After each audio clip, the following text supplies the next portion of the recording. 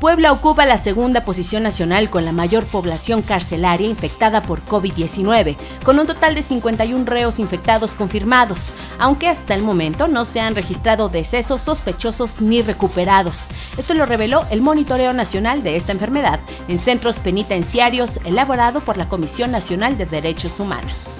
Noticieros Teleurban.